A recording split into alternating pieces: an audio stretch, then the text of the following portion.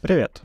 Сейчас я вам расскажу, как стилизовать ваши готовые изображения в Stable Diffusion при помощи лора. Я вам расскажу в этом видео, что такое лора, как его использовать, как его устанавливать и где качать. Если вы вдруг забрели на это видео и не знаете, что такое Stable Diffusion, переходите в наш телеграм-канал, там вам подскажут, как его установить и как его использовать. Ну и в целом переходите туда, там мы делимся опытом между собой и улучшаем наши работы вместе. Итак, приступим. И первое, что ж такое лора? Лора — это такие небольшие модели для Stable Diffusion, которые стилизуют ваше готовое изображение. Они очень легко обучаются по сравнению с обычными моделями, поэтому их очень много, э, все их делают, и это на самом деле очень круто, потому что ваши финальные результаты благодаря лора можно очень классно стилизовать. Они бывают совсем разного вида, они бывают под персонажей, бывают под стилизацию окружения, под стилизацию финального результата, допустим, под киберпанк и так далее. Давайте я сначала вам расскажу, как установить лора, а после мы поиграемся с ним и в конце вам дам табличку, где я собрал 40 классных лор, и также ссылочку на сайт, где их можно качать в еще большем объеме. Итак, давайте приступим. Откроем наш Stable Diffusion, и куда же устанавливается лора. Если вы хотите установить ее в Google Colab, то переходим в Google Диск, в, э, в папочку Stable Diffusion WebView. Здесь нам нужно перейти в папку Models, и здесь папочка лора. Мы просто скачанный файл прямо перекидываем вот сюда. Если же речь про локальную версию Stable Diffusion, то принцип тот же самый. Мы просто переходим в папку с нашим а, Stable Diffusion, папка Models, папка Lora. И также сюда закидываем. Внутри Stable Diffusion обязательно нужно, чтобы было установлено расширение, которое так и называется Lora. По умолчанию в автоматике, либо в более-менее новых версиях Stable Diffusion оно уже должно присутствовать. А, давайте для начала сделаем генерацию, которая будет без лоры. Посмотрим просто на стандартное базовое поведение модели. В данной ситуации я использую Abyss Orange Mix 2. Ссылка на этой модели есть также в нашем телеграм-канале в вкладке полезности. Ну вот, вариант получше. У нас здесь прописан самый стандартный негативный промпт, а, очень простой а, позитивный промпт, просто открытые красные глаза.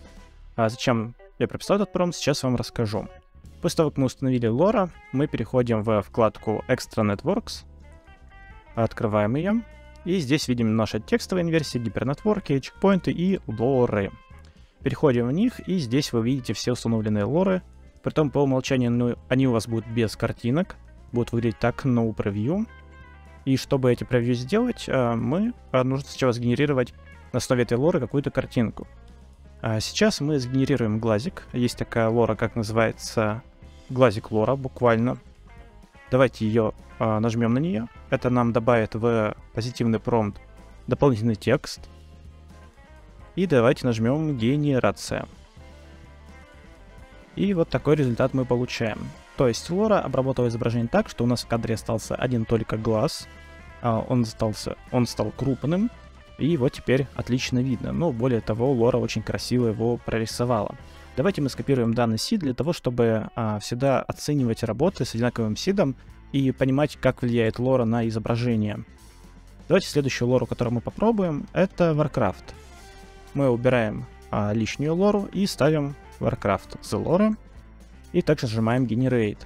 Уже можно увидеть, что прорисовывается какое-то изображение в стиле Warcraft, оно и правда так прописан только открытый красный глаз, а Лора прорисовала, в принципе, все остальное действительно в стилистике Варкрафта. Плюс сделал небольшую пометку на то, что оно прорисовало так именно на этой модели. А, должен заметить, что в принципе а, разные лоры будут работать на разных моделях.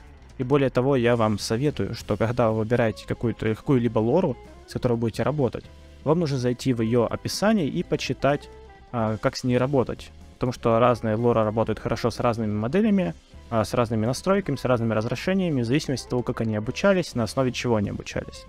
Например, вот Ranma Style Lora обучалась на 512-512 пикселей, а, соответственно, лучше работать а, на этих разрешениях, а также она обучалась на модели Anything 3. То есть лучше использовать эту модель. И то же самое касается и других лор. В некоторых это прописано более подробно, в некоторых менее подробно, но всегда стоит читать, чтобы использовать ее максимально эффективно. Например, для этой лоры использовалась вот эта вот модель. Итак, давайте вернемся в наш Stable Diffusion и посмотрим еще пару лор. А потом я расскажу, где это все скачать и дам табличку.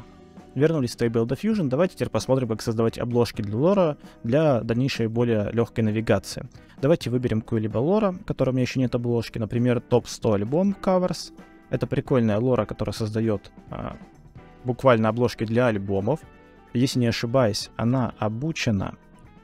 Сейчас мы ее откроем. А, сделаем по-другому. Перейдем в наш документик и возьмем ее отсюда. А, да, она действительно обучена на обложках группы Rolling Stone, и это довольно-таки прикольно, что мы можем создавать подобные обложки, используя генерацию Stable Diffusion. Давайте посмотрим, что Stable Diffusion генерировал.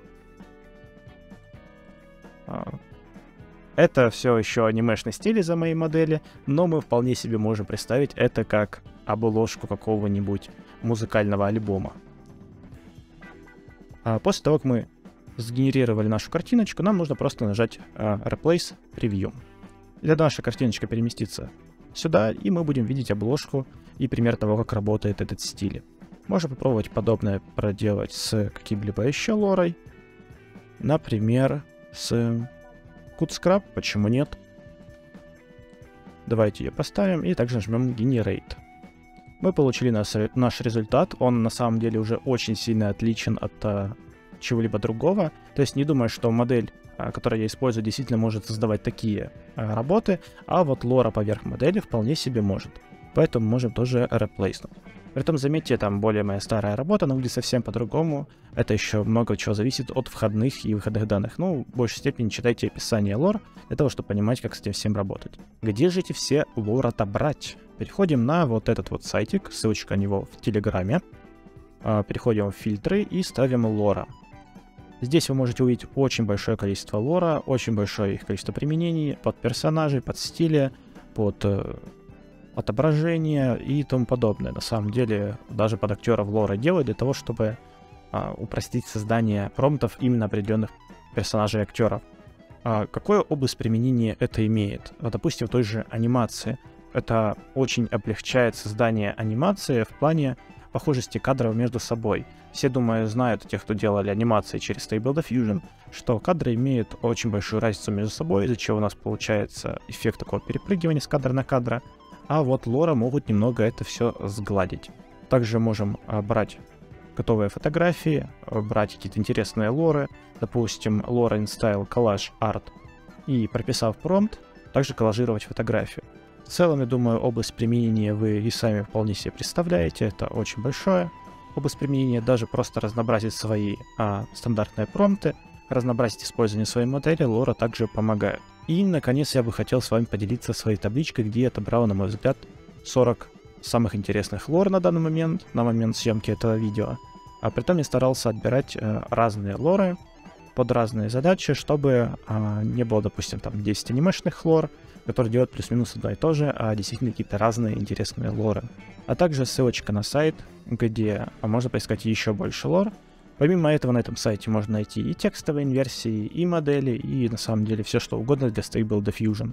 Очень классный сайт, всем советую. Спасибо, что посмотрели видео, надеюсь вы узнали что-то новое и полезное. Удачи!